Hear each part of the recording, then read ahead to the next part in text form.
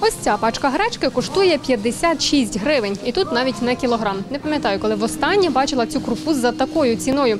Які ще продукти здорожчали від початку карантину, а які залишились за тою ж ціною. Йдемо дивитися. Закупитися вівсяною кашею, лимоном та горіхами до магазину прийшла Анна. Кладе до кошика і грейпфрут. Цитрус, лимон, імбир кажуть, що підвищує імунітет, і ці продукти почали дорожчати.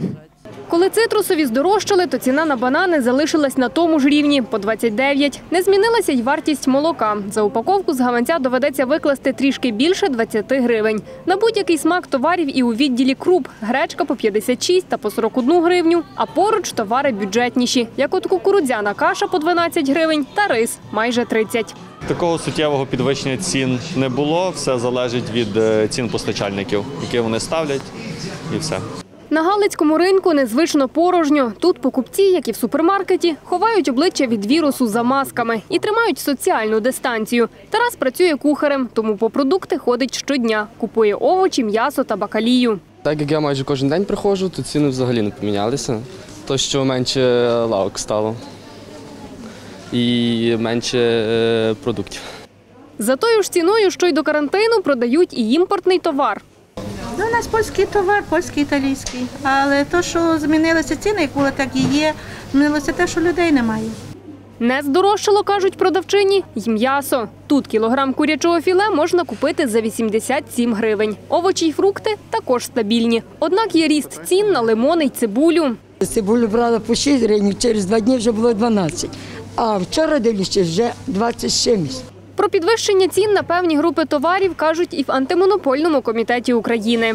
У деяких регіонах з початку березня ціни на гречану крупу зросли більше ніж на 50%, пшоно на 24%, цукор на 16%. Значне підвищення цін зафіксували у деяких мережах і на овочі. Майже на 60% подорожчала картопля. Вдвічі піднялися ціни на цибулю та моркву.